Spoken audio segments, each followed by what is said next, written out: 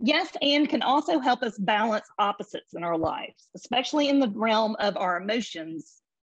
So um, I think this helps us build boundaries and margins, which we're not really good at. We tend to want to just kind of be out there all the time and let other people kind of dictate what we're going to do.